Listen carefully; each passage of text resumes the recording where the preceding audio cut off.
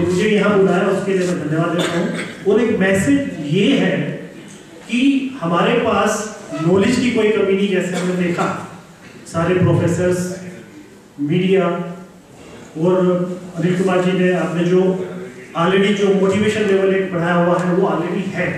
लेकिन हमारा जो बेस है डेटा जैसे कि हमारा डेटा संख्या का डेटा वो बढ़ता नहीं है। मैडम ने भी वही बात की कि आधी हमारी जो संख्या है महिलाओं की, वो उतनी एक्टिव नहीं है। तो हमें ये सोचना पड़ेगा कि हमारी इतनी सारी संस्थाएँ होने के बावजूद भी, डॉक्टर अंबेडकर और भगवान बुद्ध, या फिर दूसरे जो हमारे महान बहुजन महापुरुष हैं, उनके नाम से हमारे पास हर शहर में हज़ारों की संख्या में संस्थाएँ हैं, एनजीओ है, फाउंडेशन है, ट्रस्ट है। तो उन सब का किस तरह से कोऑर्डिनेशन हो, मैं कई बार एक एग्जांपल देता हूँ कि अगर हर एक दिन भी कोई ऑर्गेनाइजेशन काम करती है, किसी भी एरिया में तो इतनी संख्या को अगर डिवाइड करें तो हमारे पास अलग अलग हर टॉपिक में हम प्रोग्राम कर सकते हैं।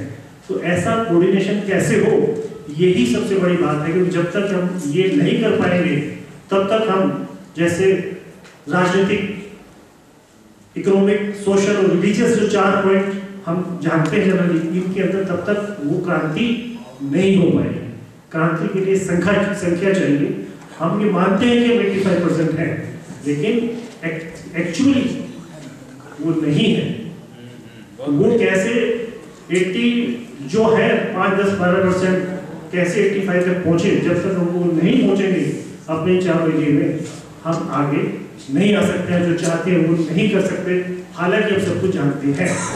दूसरा एक लास्ट मैसेज मैं ये देना चाहूँगा कि अधिकारी लोग, हम लोग काफ़ी डरते हैं। ऐसा एक माहौल है कि काफ़ी डरते हैं।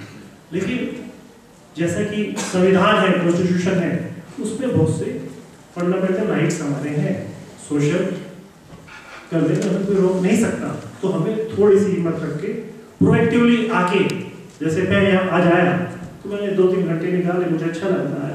तो ऐसी बात अगर दूसरे अधिकारियों में कैसे भेज सक, आगे कर सकते हैं, अगर ऐसा करेंगे तो मुझे लगता है ऑफिसर्स का और जो आप जैसे जानकार और एक्टिविस्ट और नॉलेज हैं, इनका अगर कोऑर्डिनेशन होगा तो बहुत क्रांति हो सकती है। लास्ट में मैंने जैसे कल कल का दिन जैसे था तो महात्मा गाड़गे का जन्मदिन था। तो उसमें एक स्टोरी आती है कि महात्मा गाड़गे जी और बाबा साहब बाबा साहब अंबेडकर आपस में चर्चा करते थे। तो जो चर्चा है, उसी का स्वरूप हम आज कह सकते हैं कि पढ़ा लिखा ज़्यादा हो सकता है, लेकिन ग्राउंड पे जो नेटवर्क जैसे अशोक नारवाल जी का है, जो नॉलेज है, वो जब तक नहीं मिलेगी, तब तक आगे नहीं हो पाएगा। इसके लिए